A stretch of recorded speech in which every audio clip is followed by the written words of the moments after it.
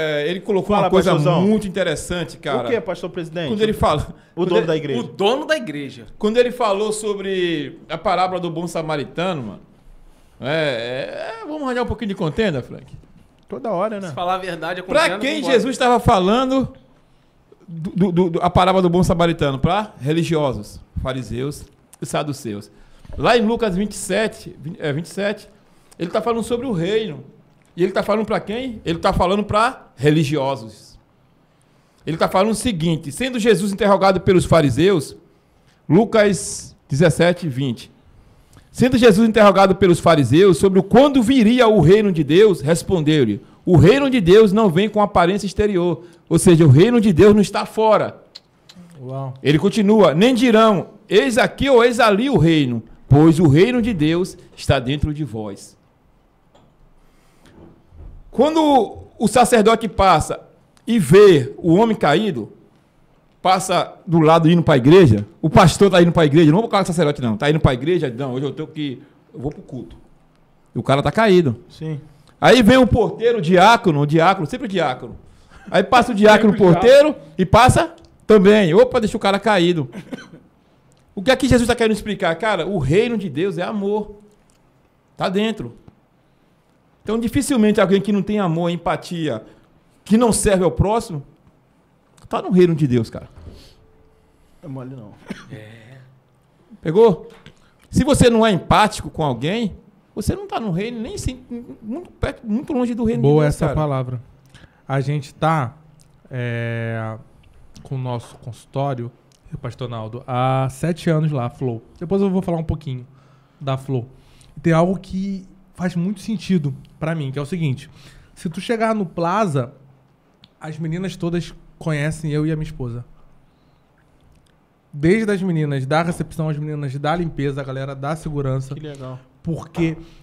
E a galera foi descobrindo que eu era cristão sem eu precisar falar. E aí um ou outro soube que eu era pastor sem eu precisar falar. E assim, o reino foi. E aí, ah, é, pô, faz sentido esse cara ser, ser pastor, cara. É o faz reino, sentido. tá dentro. Então, assim, não é uma carteira. Não é, não é, cara. Não é visível. Não é, não é visível. Porque é o que tu falou, essa É. palavra fez muito sentido. De Porque é de dentro pra fora. Meu Deus. Os dois textos que tu usou é bom. E quando tu olha pra Lucas 15, os, as três parábolas de Lucas 15 é sobre isso, cara. Meu Deus. A dracma, a ovelha, o filho pródigo, é sobre o que se perde, o que se perde É. dentro da casa. Fora. Mano, isso, isso aí é muito forte, que é sobre amor. Essa palavra, se a gente entender que a igreja é sobre amor, eu tava vendo um podcast de, de vocês e o pastor Naldo falou algo que eu achei interessante. Ele falou, quem sabe o dia não tenha mais placas. Ele Seria um, um tempo bom, né? Um tempo saudável. Cara, isso aí me pegou. Não tenha mais igreja metodista. É, assembleia. não sei o quê. É.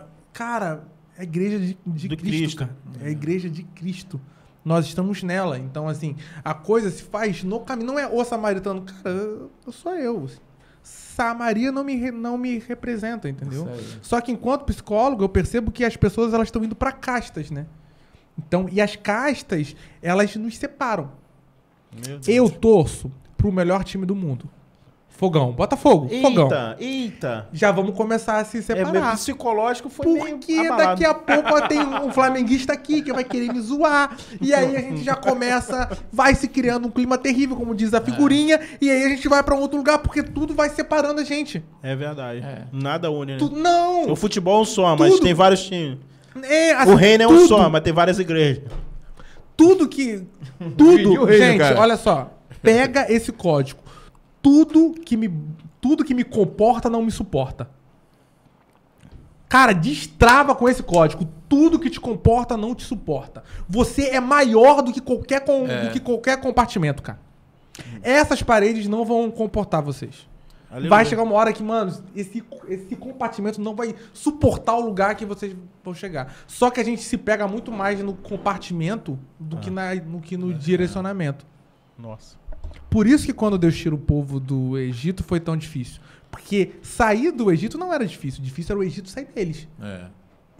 Verdade. Porque eles estavam querendo Voltar, estar num é. compartimento. Só que Deus estava falando, cara, não suporta mais, cara. Por que, que Jesus fala na parábola do vinho que o odre ele não comporta. Porque não comporta, mano. Vai chegar uma hora que ele não suporta o vinho, vinho novo, mano. Não tem odre, não tem odre que vai suportar vocês, mano. Arrebentar. Aleluia. Forte isso, né, cara? Pesado. Não é pesado isso? É. E eu Palavra- vejo uma galera, todo o processo de dor. é, eu tenho três formações clínicas e uma num cara chamado Carl Roger. E todo o processo de dor é uma não aceitação, pô. Nossa, a gente é. se apega, cara. E aí aquilo ali a gente. Cara, tem algo novo pra você. Só que tu tá pegado. Às vezes tem um, um outro relacionamento. Aí tu tá numa tiriça, numa nhaca que não é mais pra você. Cara, tem um outro emprego, tem um outro lugar. E até tu morte, né, pastor? odre. Tem gente que vive em prol de quem se partiu, mano. É, mas... Caraca, mano, veio uma palavra rema aqui pra mim agora. Em cima dessa tua palavra, Caraca, mano. veio uma palavra rema. Quando Davi vai perder o filho dele, Bissalão, é. cara, ele tá. O filho de Betseba. Quando ele vai perder, ele tá pano de saco, Ah, papá. é. E a galera tá desesperada. Quando o filho morre, de contar pra ele.